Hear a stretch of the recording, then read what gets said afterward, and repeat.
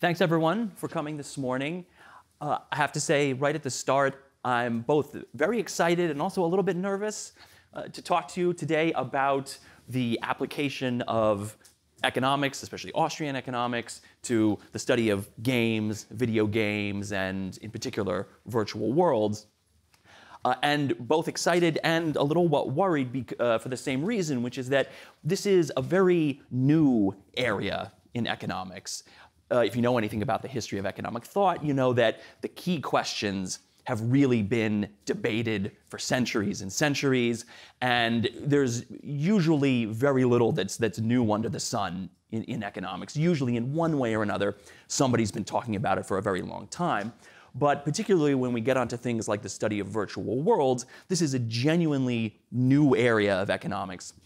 Um, it's really only been around for about 25 years or so because it was only in the late 90s and early 2000s that the kind of games, the kind of virtual worlds that we'll be talking about were, were actually technologically feasible. And since then, they've grown by leaps and bounds, and you know, as has the, the sort of the, the broader industry.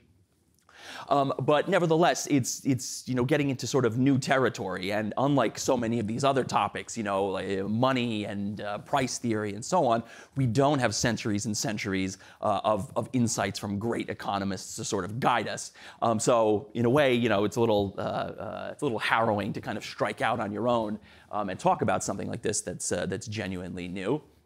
Um, nevertheless, uh, my hope in this talk is to uh, convince you, if maybe you're a little bit skeptical, that this is an area that Austrian economists should be interested in, and it's an area with a lot of potential for sort of research and writing uh, and so on. So um, now, again, if you're skeptical uh, about this, uh, I hope to convince you. If you think, you know, maybe think you're a little sort of too cool uh, for, uh, for games. Uh, hopefully, I will be able to, to change your mind by the end of this. I mean, at the same time, who am I talking to? This is a Mises event. None of you are too cool for anything, but you know. Um,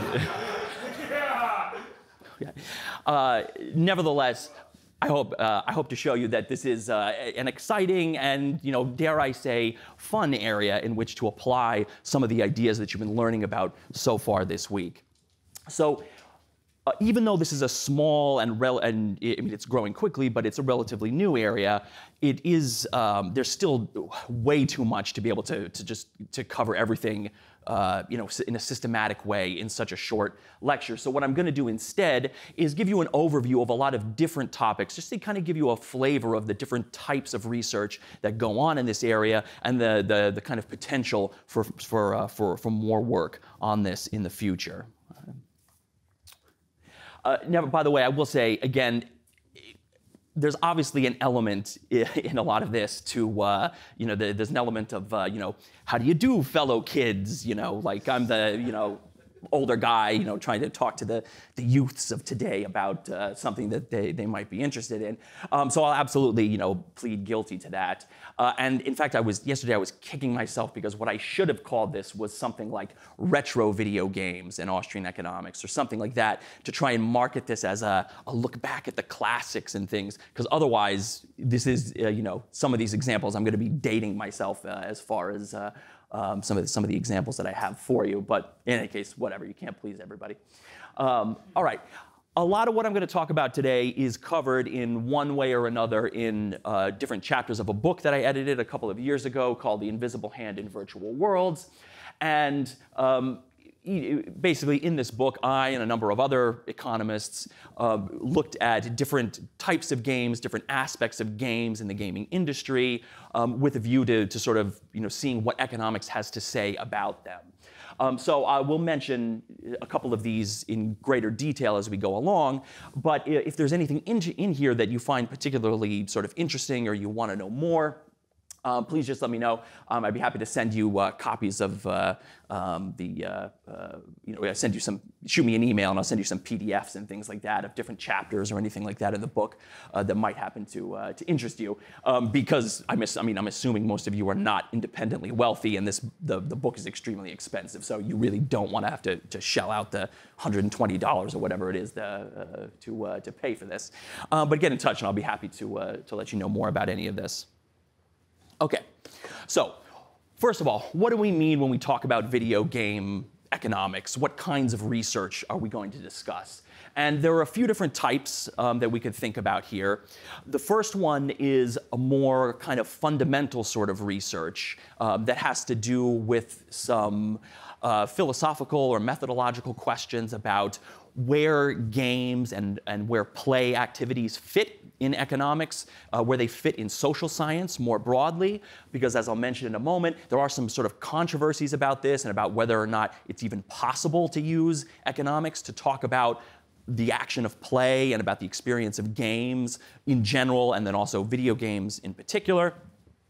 So there's some fundamental questions there. Also involved in that uh, are questions about um, uh, sort of um, in, interpretation um, and what we basically literary criticism and using economics to analyze video games and sort of draw lessons out of them. Um, there's uh, I don't know if uh, any of you are, uh, were familiar with uh, Paul Cantor, who was a uh, sort of uh, Austrian literary critic. He was a professor of literature at the University of Virginia for, for many decades. He passed away a few years ago. And uh, Paul Cantor was a, was a pioneer of applying Austrian economics as well as sort of liberal libertarian principles um, to literary criticism. And if you know anything about this particular area of academia, you know that um, ideologically, economically, uh, it's, uh, it's just an absolute mess. Uh, and I just wanted to say a quick word of, of tribute to, to Paul Cantor because he really pioneered this. And in his later years, one of the things that he was talking about a lot was how video games were going to be sort of the next frontier of this research agenda. So I just wanted to point to that uh, just in passing and say that um, if you are, for example, a scholar, if you're working in the humanities or something like that, this is one of those fields that it's just it's wide open um, for uh, for people to come in and put uh, put a an, an, Austrian interpretation uh, on the uh, on the analysis of, of games. Um, then Scaling up somewhat, uh, we have the topic of virtual worlds, and this is where the vast majority of economic research is done today. As I said, um, when it comes to sort of um, the, the fundamental analysis of games and play, that's mostly done in humanities and communications, media studies, and so on. But to the extent that economists are studying games, usually what they're studying are virtual worlds. And I'll explain exactly what those, that, that means as, as we go along. But uh, to make a long story short, virtual worlds have been growing enormously in terms of their size, in terms of their complexity, and in terms of the amount uh, and, uh, again, the complexity of economic activity that occurs inside them. So the development of in-game virtual currencies, um, the development of in-game assets that have you know, real-world tradable economic value, and so on. Um, there's lots and lots going on in there, and there's some, some very interesting sort of case studies that you can draw from this as well. And then finally, you have the economics of the video game industry as a whole. And again, if you've followed anything about gaming in the past, well, basically as long as gaming has existed, you know that the industry is, is very paradoxical. Uh, on the one hand, it's grown tremendously over the past 50 years. It's, it's absolutely enormous at this point. At the same time, it's the center of one controversy after another, and most of the controversies have something to do with the economic state of the industry. Uh, and uh, I will talk about all of these things um, once we, uh, you know, uh, over the course of the, the presentation. Um, and for now, I'll just point out that to some extent, a lot of these fields, they do overlap. Um, they're not neatly divided uh, as I've suggested here, they do overlap, they do mutually influence each other. And just as an example of this, which I will come to in more detail later, when if you look at the, the way that the current state of the game industry affects the actual creation of games and the actual experience that players go through. There are lots of examples of this. You know, recently, for instance, there's a big controversy about the use of uh, generative AI in creating assets in games because that allegedly steals jobs from hardworking animators and things like that. Um, that's driven by economic factors. That's driven by you know the increasing costs of developing AAA gaming titles, uh, which makes it much cheaper to substitute generative AI for you know living, breathing animators and things like that. Uh, and you could say the same thing about all kinds of other controversies as well. Um, microtransactions, loot boxes, things of this nature. These are sort of economics, cost driven uh, controversies that come up. And so, if you want to understand you know, how these things have played out, you really need economics as a, as a framework uh, in order to do that. Okay. So, just to say something quickly about what it, mean, uh, what it means to uh, when we talk about games, because we're going to start sort of broadly with some of the, the, the, the, big questions, the deeper questions about what games are and how they fit within economics. And here we have Frank Knight uh, in his intriguingly titled essay, The Sickness of Liberal Society, where he's talking about what it means, what a, what a game is, and especially what play activity is. This is a whole area of research in humanities and in the social sciences. And as they say, there's controversy about where economics fits into this. But here, Knight is making a pretty sort of standard point um, about why games are separate or why how they're sometimes different from our ordinary activity. And what he's suggesting is that games are actions like any other. Um, like all actions, they have an end in mind. Um, but Knight points out that when you talk about a game, you're talking about an end that is in some sense symbolic or maybe artificial. Um, it's specially constructed for the purpose of engaging in this activity. Right? So this is one difference uh, in engaging in sort of play than uh, regular uh, sort of regular ac action or maybe our action in the marketplace. Uh, and on the other hand, Knight says um, the value of play lies as much in the activity of pursuit as in the enjoyment of the result right? So to some extent, um, yes, you have an end, but sort of the means and the ends are not always clearly separated. Sometimes um, another way of putting this is that play is about process. It's not necessarily about a clear, definable end state like winning. A lot of times it's the process that you go through uh, that gives the enjoyment rather than a sort of a clearly defined goal that you're working towards in time, right? Um, so again, you know, sometimes you know, the, you know, the, uh, uh, the journey is more important than the destination. It's the play itself rather than, say, maybe winning or something like that, um, that we get our, our real value from, right? Or at least that's what losers say about these kinds of things. So uh, again, I bring this up uh, to highlight the fact that there is a whole academic discipline devoted to the study of games, and these days it's devoted largely to the study of video games because they've become so financially and so culturally significant. And that area is called ludology. Um, it was founded by this fellow at the bottom, uh, Johan Huizinga, who was a Dutch historian who published a very influential book called Homo Ludens, which was an attempt to study the role of games and play in culture. And Huizinga essentially created this academic discipline of ludology where people study games and play and all of the cultural and social factors that, that surround them and influence them. Right? And as I say, today, this is mainly devoted to the, to the study of video games because they're so important. And, uh, but one thing that Huizinga and others have sort of emphasized is this distinction between play and, uh, and work, right? So the idea is that there's supposed to be a strong distinction between the, essentially the economic side of life or the economic side of action and uh, the world of play, the world of leisure, and so on. And uh, for one of the, the really important points that Huizinga made is that uh, it's play that is the kind of vital formative element uh, in, in creating human culture and human society, right? Um, so he's a, he's a very sort of interesting thinker. I'm not going to dwell too much on, on his ideas, but I just want to point out that he played this fundamental role, um, and especially in helping set up this distinction between what's supposed to go on in our economic lives and what's supposed to go on in our leisure time, in our play lives, and so on. Right? Uh, by the way, Huizinga does have a, a sort of uh, an Austrian connection because in the 1920s he was uh, he toured the United States uh, with a number of, uh, of European academics, uh, one of whom, it turns out, uh, was Mises. So, yeah, so Mises was there at the beginning. He was the OG, uh, OG gamer.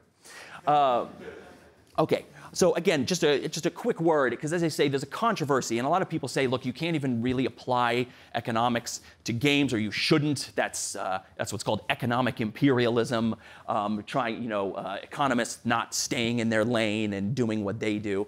Um, so this uh, aggravates humanities scholars to no end when they try to do this. But a lot of this is based on a kind of erroneous distinction that I mentioned already between uh, our economic lives and our non-serious leisure play lives, right? And I just want to point out briefly that from a sort of a Misesian perspective, this distinction really doesn't exist.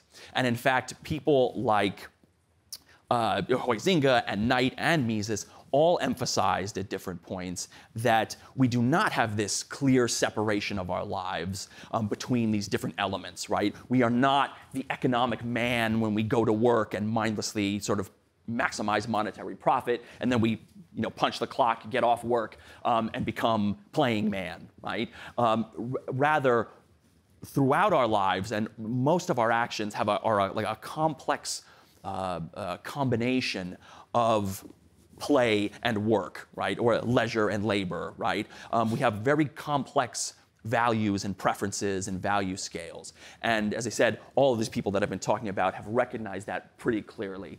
So a lot of the complaints that people will make about using economics in these areas are not very well grounded, I would say. Okay.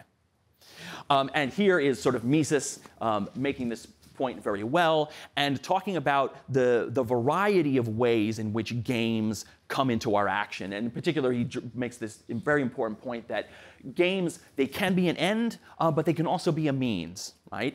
And in a way, he's setting up at least two different sort of strands of research that Austrians can investigate here. Um, because on the one hand, he says, you know, for, for many people engaging in games, this is an end, right? Um, we like, you know, the thrill of the challenge. We like, you know, overcoming obstacles and so on. Um, we like thinking, you know, as he says, you know, people whose vanity is flattered by the display of their skill and superiority. If you ever played a competitive game, I'm sure you know what this is all about.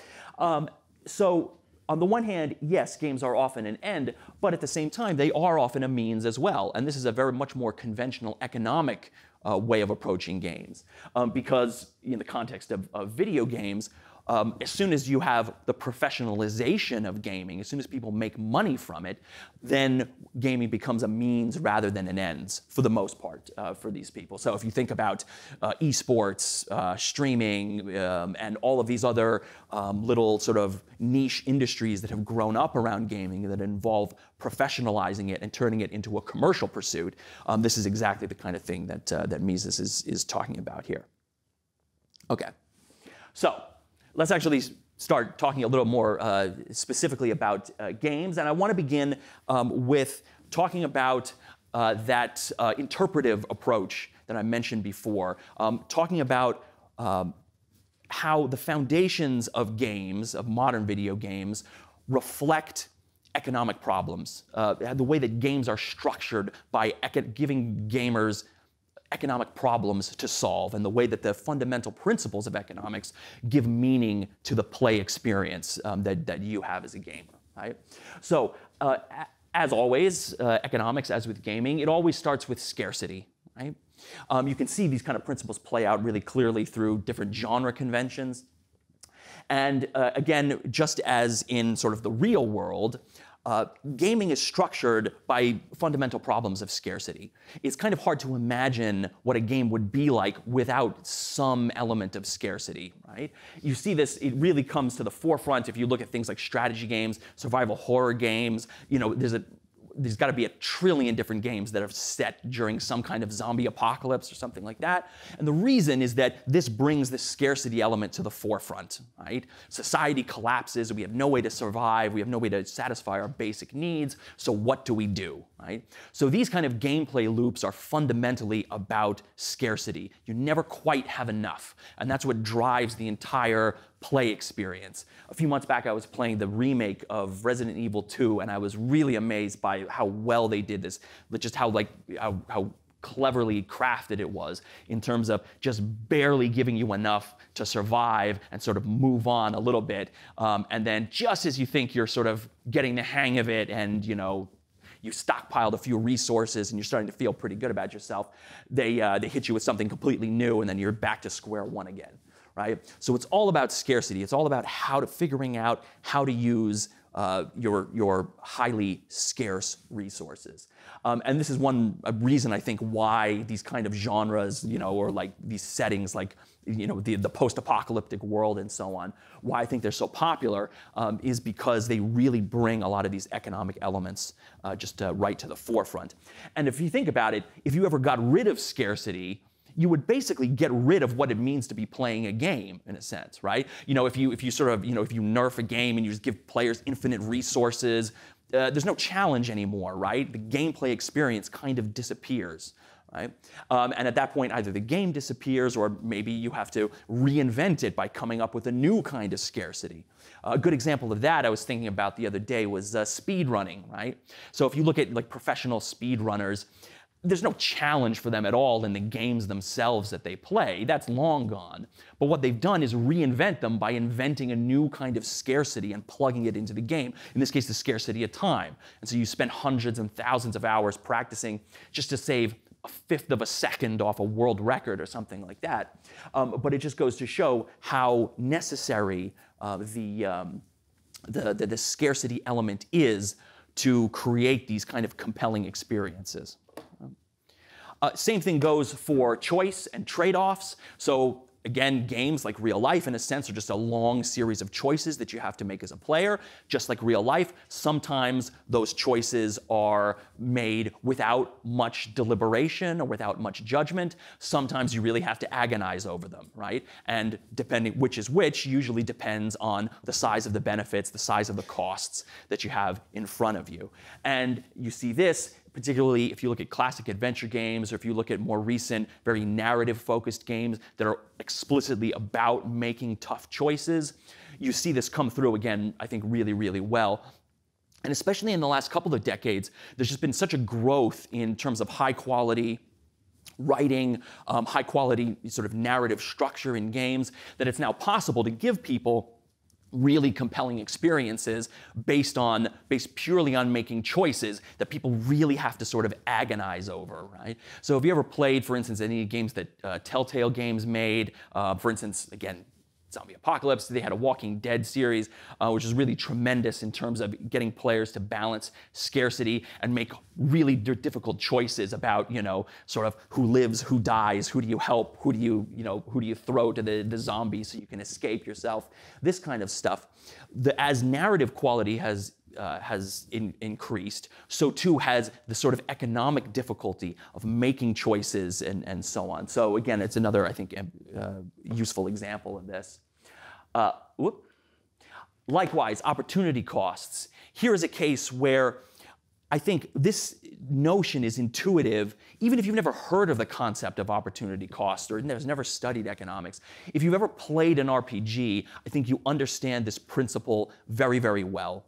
Because opportunity cost tells us that the true cost of something is not the money that you spend on it, it's what you give up in order to, uh, in order to get it right? So if you look at an RPG and if you ever sat, you know, in front of your screen for 10 minutes agonizing over how you were going to develop your skill tree, uh, which skill to choose, which to give up, um, or you know, which class or which race to choose or what have you, then you know about this problem already. Because it's very easy to see that when you're spending experience points in order to gain a skill, the cost, the thing that's really tough to do, is not spending the points. Those are irrelevant you realize that what you're, the, the real cost is what you're giving up. And what you're giving up is the alternate play experience that you would have had if you'd chosen a different skill or a different specialization or something like that. Right? So again, I think there's a lot of intuitive economic logic that's just built into these aspects of games. Then as we scale up a little bit, especially once you get into MMOs and virtual worlds and so on, you see this even more. You see the emergence of complex social relations, division of labor, specialization, and whatnot. Particularly in massively multiplayer online games, they tend to be constructed around the impossibility of doing things on your own, right? Um, what Mises would call uh, economic autarky uh, is basically impossible in an MMO. You need a group of people, sometimes a substantial group of people, in order to progress, in order to complete you know, the, the main parts of the gameplay loop. And at, at the same time, crucially, not everybody can be doing the same thing when you're, in, when you're playing in a team or in a guild or what have you people need to specialize. You need to diversify your skills because, again, this is a central part of the way games are constructed, right? So you can't, not everybody can be, you know, a warrior, right? Somebody's got to be a tank, and somebody has to do crowd control, and somebody has to suck it up and decide that they're going to be the healer, right? Which nobody wants to be, uh, and so on. But you need specialization among roles or classes, or however this is, you know, sort of determined um, in, uh, in a particular game. And just as this has happened, we've seen uh, in a very kind of Hayekian way the spontaneous emergence of all kinds of economic relationships. Right? It's not just the social side of things, but economically too, the way people uh, sort of spontaneously figure out the most effective ways to trade with each other in games um, and the most effective ways to govern their economic activities. And I'm going to talk more about that uh, in a minute as well. Uh, and then lastly, entrepreneurship, which uh, occurs in many different ways in games, some of them sort of symbolic and others very literal. So on the more literal side, um, in a lot of sim games or sort of uh, open world MMO type games, uh, Second Life and Entropia and those kinds of things, they were the, the path breakers you see the emergence of very of, literal markets, right? As people start to develop digital properties, you buy digital land in the virtual world, you buy it with real world money or with money that can be exchanged for real world currency at a certain exchange rate, and so on. Um, all of this, of course, uh, coming back to my talk on, uh, on Monday, involves using your property, using your scarce property in the face of uncertainty, um, and, you know, and risking uh, serious uh, financial losses um, in order uh, to make a profit in a virtual world, right? Uh, but although the world is might be virtual, uh, the financial side of it uh, is very, very real, uh, as we will see. Okay, so moving on to virtual worlds specifically, and I've got Dark Universe Mises here. Um, if I'm confident of one thing, it's that if Mises were alive today, he would have hated video games. Um, me, if, you, if you know anything about me, Mises hated detective stories. He thought they were like the lowest form of popular culture. Um, and uh, if you can, if you can, if you thought that about video games, I mean, you can imagine what he would have thought about, you know, Grand Theft Auto or something like that. Um, but I want to talk a little bit about virtual worlds now and some of the lessons that we can learn from them. So very quickly, virtual worlds are persistent digital spaces in which players interact with each other through avatars in real time. Right? Um, the most important part of that is that they are persistent. So they exist, they run 24 hours a day, seven days a week, even whether or not anybody's actually inhabiting them or acting in them at the moment. Right? So they're always there. So they provide a pretty, you know, a potentially enormous uh, sort of forum for people to engage in economic and social behavior with each other. And as a result of that, they offer some unique opportunities for economists who are, are who want to study them, right? Overall, what we're mainly interested in when economists look at virtual worlds is looking at different problems of social order or maybe social chaos when things go wrong. I'll have examples of both of those. Um, but more narrowly, um, one of the great benefits of looking at virtual worlds is that they're just they provide another new opportunity to demonstrate the universality of the principles of economics. Because one thing that we've learned over the past 25 years or so is that the more virtual worlds develop, the larger they get, the more players they have, and the more complex uh, the, the play in them becomes, the more we begin to see the same principles of economics emerge as we have in the real world for the past you know, thousands and thousands of years. And so it's, it provides a, a, sort of a terrific opportunity to look at these problems in a fresh way and with fresh examples, um, as opposed to you know, the, the, the, same sort of historical records that we've been uh, looking at for, uh, for, for centuries and centuries. Um, so on the one hand, it's a great opportunity just in the sense to sort of teach economics. At the same time, uh, virtual worlds also have um, an important function as a kind of natural experiment. So economists or who do sort of empirical research are always trying to on the lookout for good natural experiments. And virtual worlds offer these because typically when you have say like an MMO like World of Warcraft or something like this, this game is going to be running on many different instances on across different servers, right? So it's the same game, um, but just uh, you know, in different isolated instances. And what this allows you to do as a developer or as an, econ- uh, as an economist is tweak uh, the rules, tweak the conditions in one of those instances um, by changing the rules, by multiplying the resources, changing in game prices, something like that, and holding all the other ones constant to see what happens and to see what effect those changes have. So virtual worlds give economists a great opportunity um, to, uh, to take advantage of uh, sort of inbuilt treatment and control groups uh, in a natural experiment. So if you want to look at how people react to things like price changes or sudden scarcities and so on, it gives you a kind of a cool way um, in order to, uh, to, be able to do that, um, and often one that has substantially fewer costs than doing these experiments um, in the real world. Um, however, that does raise the, the, sort of danger of this, which you do see in, uh, uh in, in a lot of economic writings on this, which is trying it's a bit like what Hayek called the pretense of knowledge is trying to thinking that because you can design a virtual world um, in which you can you know treat like a sandbox and you know arrange according you know however you like uh, that you can therefore do that in the real world as a policymaker. Uh, and that's a very sort of dangerous way of thinking about things. Um, because, for example, you do see economists say things like, well, you know, like we constructed this virtual world and we let some people play around in it and we, you know, whatever. We, we came up with uh, this version of rent control in the virtual world that didn't cause housing shortages. Therefore, if we get it right in the real world, if we just tweak it just right, uh, everything's going to be fine, right? Um, but uh, but this, of course, is not what happens. Um, and so there are some downsides to this. You know, there are some dangers, and it's just a good example of how you need to approach this kind of uh, kind of research uh, with a bit of humility, um, and not try and uh, uh, not try and get too much out of it, or just it's just important to understand its limitations. Okay. So I want to talk uh, about a couple of uh, specific examples now. Um, the first one relates to uh, the emergence or the, the emergence and then the decline and collapse uh, of money in virtual worlds.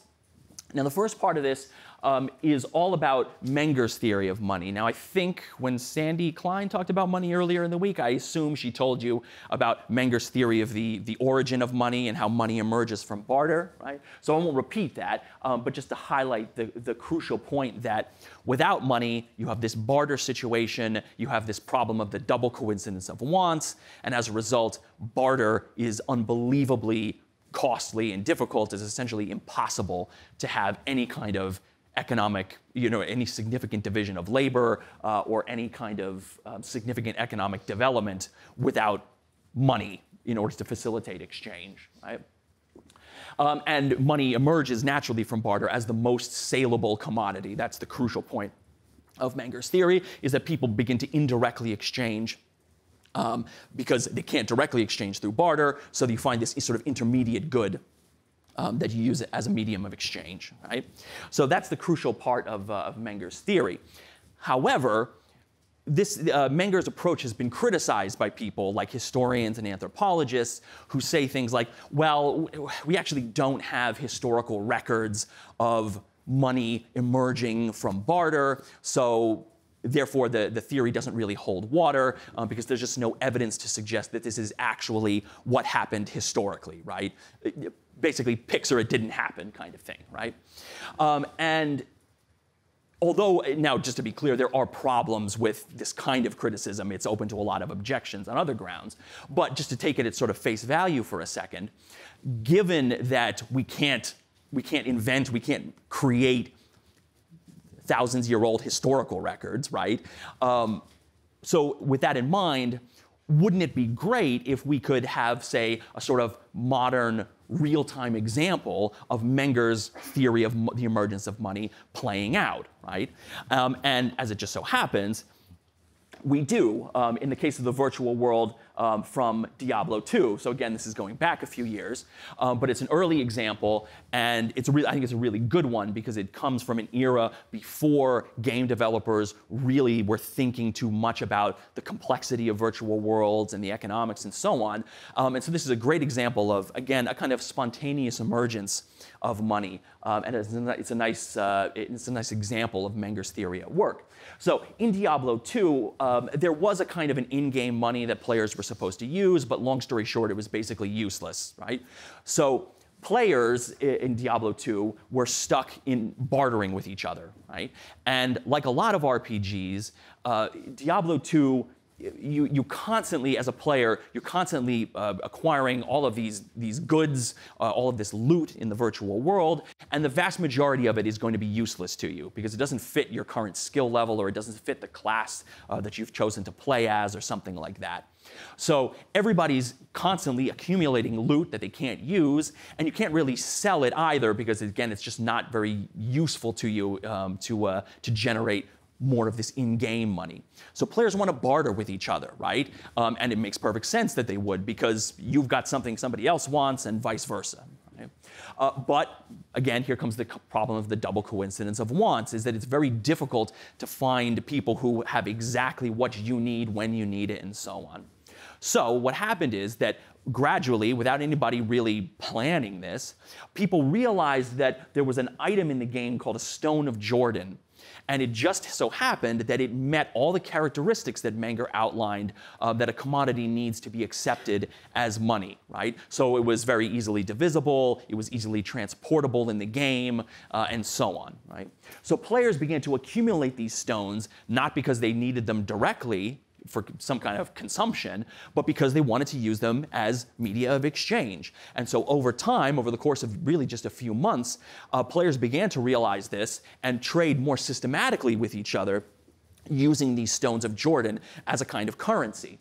And it's interesting actually because if you go back and you look at the old game forums, you'll see that um, you'll see, for instance, the way that um, players start, begin, you know, you can see posts on the old forums where players say, hey, I just realized that even though nobody, you know, even though I can't find the loot that I need, what I can do is trade for lots of these stones instead, uh, and then gradually figure it out uh, over time. And so eventually people start publishing massive price lists for hundreds and thousands of different items of loot, all in terms of stones of Jordan, right? As a, um, so I think this is a very cool example um, of just how powerful, in a way, Menger's theory still is today, and just how um, consistently you see it um, in uh, in virtual worlds, and you know, um, um, you know why uh, it does, in fact, I think um, have a really strong sort of empirical foundation for it. So again, just a kind of a cool case study um, that uh, it makes a good for, a, I think, a good reply to the critics. Okay. However, uh, Blizzard, who created Diablo 2, uh, did not learn the lesson from this that they probably should have, which is that it's best to let players figure these things out for themselves. Um, instead, uh, they went the opposite direction. So when they created Diablo 3, they tried to sort of force players to use the in-game currency that they decided on. Um, and they tried to make it sort of impossible, basically, for people to, to go in the direction they had with the previous game. And to tr try and you know, make a relatively you know, long story short, basically they, they completely botched it because they didn't really consider a, how players were going to be interacting in the world, and especially they didn't consider how they were going to manage the money supply. Um, particularly the, the inflow of, of new money into the game. So the way it works in virtual worlds, in MMOs, um, is that you have uh, what they call faucets and sinks, right? Faucets introduce new money into the in-game economy, sinks take it out, right? And so relatively, you know, on balance, you, these things should be, you know, at least somewhat equal. But Blizzard didn't really think about this. And so what ended up happening was that the faucets just kept pumping money in, um, basically as players completed objectives and sort of new in-game money was automatically created for them as rewards. Uh, and uh, very little money was being pumped out of the economy. And as a result, uh, there was a hyperinflation, one of the first sort of digital hyperinflations in a virtual world that's taken place. The entire in-game uh, economy collapsed. Um, prices were going, you know, started at, you know, maybe, maybe that maybe started in the tens of thousands. Um, in the course of just a few months, they were up in like the trillions in terms of in-game currency. Um, so the whole thing collapsed, um, and it's a great cautionary tale, I think.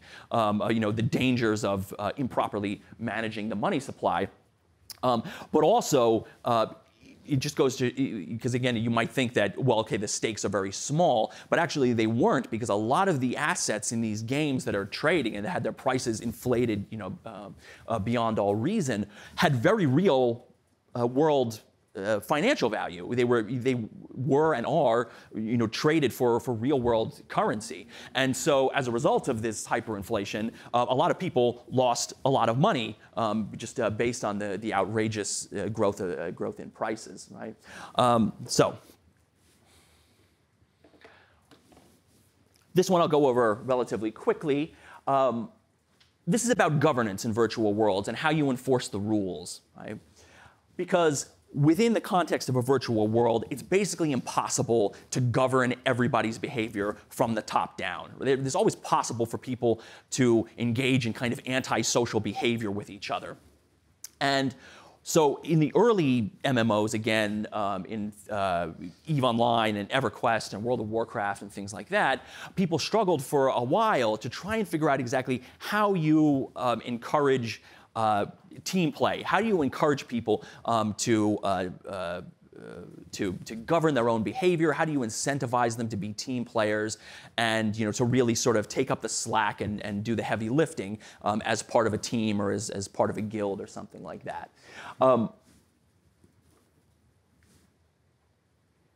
the idea being, of course, that in virtual worlds, everybody's essentially anonymous and you can't directly control what other people do. So you have to figure out a way to get people to behave sort of socially, right? And, uh, and to not exploit the group too much for their own, you know, uh, for their own ambitions.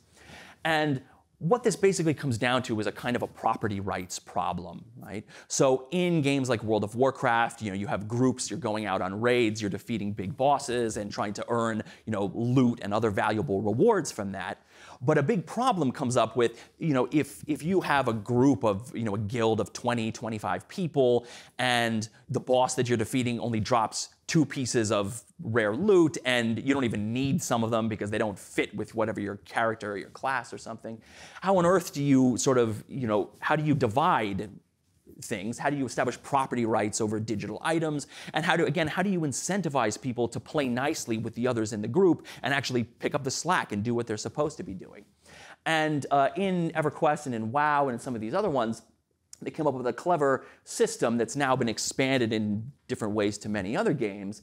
Uh, the DKP system, the Dragon Kill Points, which is basically a way of uh, establishing property rights um, and encouraging everybody um, to play nicely with each other in the group and not to free ride. And the idea is that um, you, you basically you have a sort of accountant um, who works for your group or your guild who assigns points to everybody every time you complete goals. You know, you go out on a raid with your party or whatever, and uh, and everybody gets a certain number of points for being involved. Those points then become a kind of currency that you can save up and use to bid on scarce loot when it drops. Right? So the idea is that you kind of establish a sort of an artificial market within the game by using these points to allow people to bid um, and to allow sort of supply and demand for scarce loot to drop. Um, and in a way, what you're doing is establishing a kind of, as I say, a kind of a market and a kind of a system of property rights uh, without having a developer or anybody from the top down needing to do this for you.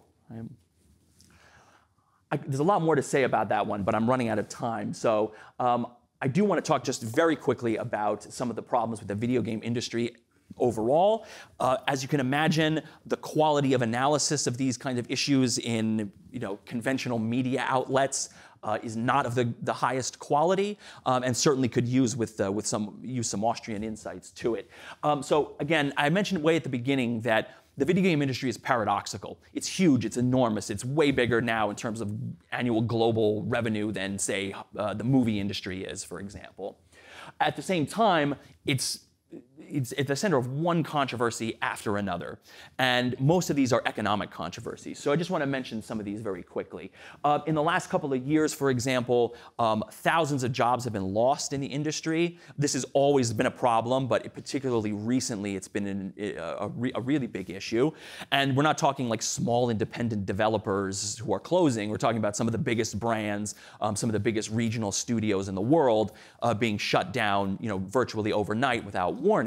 Um, so it's creating a lot of sort of problems uh, in the industry. However, what it really reflects is the, the deep uncertainty that surrounds the video game industry. Uh, as I said in my entrepreneurship lecture, all business activity really is uncertain, uh, but it's a particular problem in video games because of the way that the industry is structured. It's very difficult to uh, acquire finance. Um, as a developer, um, you have a lot of complex relationships between publishers, who are usually the ones who are doing the financing, and developers, who are the ones who are actually creating the games. And just in general, the cost of producing AAA level games have really ballooned over the past few decades uh, to the point now where development cycles take three, four, five years, maybe longer. You look at what happened with Cyberpunk 2077. That game was in development for like 10 years, and it was still a disaster when it came out. Um, you know, it was just like in a really unfinished state. So you're talking years, sometimes even a decade of development time, potentially hundreds of millions of dollars being poured into development, uh, all for a very, very uncertain outcome because you don't know at the end at the end of all that time and money you don't know if consumers are actually going to buy your game so uncertainty is a huge problem and it's reflected um, in these constant studio closures um, likewise as a result of this, as a result of the uncertainty around employment, is a big movement for unionization uh, in different aspects of the video game industry. For instance, recently the, the quality assurance testers at Activision formed their own little small union. Um, and from an Austrian perspective, this is probably not the best idea. It's not the best way to solve the problem that you have um, for a number of different reasons. I mean, unionization has a whole host of its own problems, uh, mainly because it creates a kind of a um, uh, a kind of a, a, guild where you're forcing out um, newcomers at the expense of the protected workers who are already established. Uh, but just as a practical problem of this, if people are, if employees in the game industry are really worried about keeping their jobs, unionization is not going to be the way to go because all it does is incentivize replacing human laborers uh, with, for instance, things like generative AI.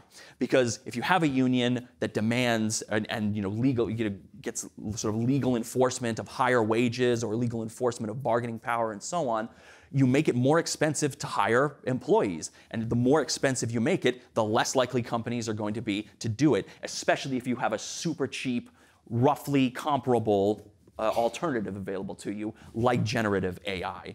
So, for the people who are calling for unionization, um, you're really just sort of shooting yourselves in the foot with this because you're not getting what you want. You're going to make things worse for yourselves. Uh, and then the last thing I'll mention very, very quickly, again, relates to some of these controversial business models, microtransactions, loot boxes. Uh, I've written quite a lot about this, particularly um, the, uh, the, the, loot boxes. Um, again, most of this is due to just the increasing costs of making video games. Some of that is natural, some of that comes from the market and just from you know, the scale that's involved and the time that's involved. At the same time, a lot of it is caused by regulation as well, particularly things like intellectual property laws, licensing regulations, and so on. This massively drives up the cost of, of creating games because whether it's art assets or game engines or what have you, these things are extremely expensive to license from the people who own them. So um, the more that these laws and these regulations, uh, you know, the longer we go, um, the more sort of burdensome they become in terms of increasing the cost of game development, and the more they kind of push publishers and developers into developing these other kinds of controversial business models, like trying to get people to make microtransactions and things like that. So again, if your goal is to sort of get rid of those things, um, you should probably look closer at the regulations that are making them more and more uh, likely to happen. So I'm out of time. Um, thank you very much. Uh,